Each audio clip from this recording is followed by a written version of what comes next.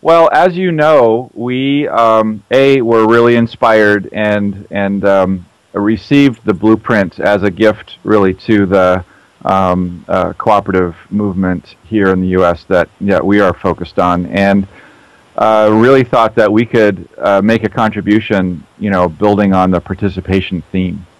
So see we're doing there's a lot of great work in capital and identity and, and, and other areas too but that's one where we thought wow we could really work with our co-op leaders and and and really explore with them what it takes to elevate participation right? So if we can use that as the big framework and um, and I'm I'm curious to know uh, really maybe you could start off with with just commenting on on um, you know how participation is so vital to moving us forward on our goals. Well, you know, participation is, I think, the most recognised part of the cooperative movement. Um, our democratic participatory framework is the thing that actually uh, really stands out uh, when people when you ask people about what, what is a cooperative, how does it work. Uh, so I think it's already very well established, and it's perhaps a bit overused to say it's our DNA, but actually it is. That's where the key differentiator is for us. So uh, the, the other thing that makes me think that this is so vital and why I really like your program is because in my experience, you know, firstly, um, 10 years heading up Cooperatives UK, which is the key apex in the United Kingdom, uh, when I was chief executive, um, my time on the global board of the ICA, and of course the international year, where I saw a lot of a lot of movements around the world. The one thing that struck me very forcibly is that when a cooperative fails, which it doesn't very often, but when it does, it is usually a governance failure.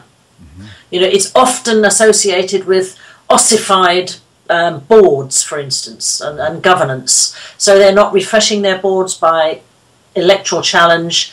They're not um, they're not introducing new initiatives. They become sort of inward-looking, stagnant, and and defensive. And that's pretty typical of my experience in the UK when I had to go around and tell boards that they needed to have an active membership policy.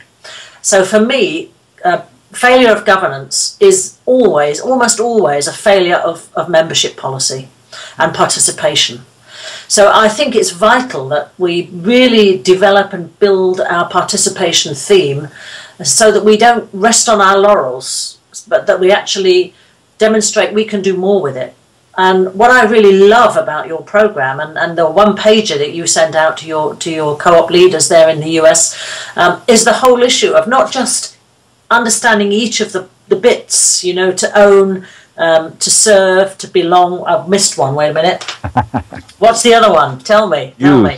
Use. Yeah, use. That's it. Um, each one of them, each one of them is each one of them is really powerful in in identifying our cooperative uh, difference.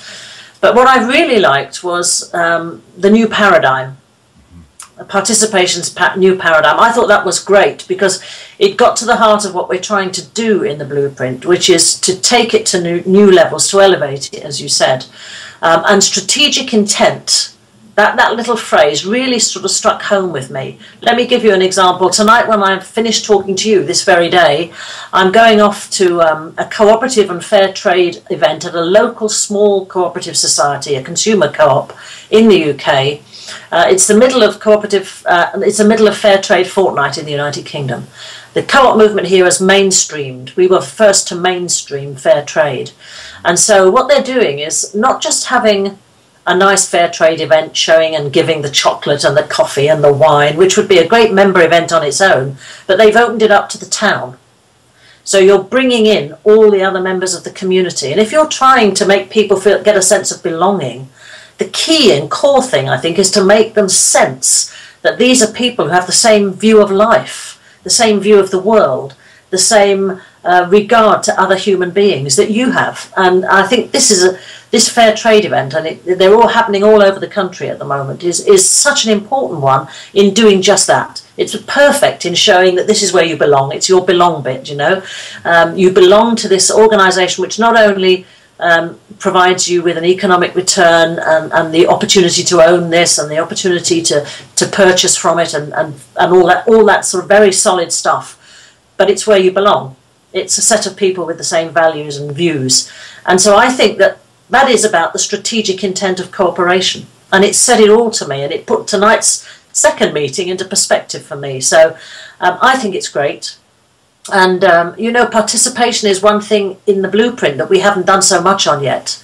And we're building the program for it uh, now. We've started on sustainability, we've started on uh, image, identity, uh, and the others, but participation is coming on stream now. So, what you're doing is a critical part of that and a very important part. You, you've really defined it beautifully. So, uh, it struck home to me as being very important that no matter how big or how small your cooperative is, an active membership policy, active engagement policy with your members is vital. And, and I really do believe that what you're doing there and trying to encourage that is great. So all, all power to your elbow, as we would say, and uh, I look forward to working with you closer uh, and on, on the whole issue of participation going forward. Great. Thank you so much. Really appreciate it.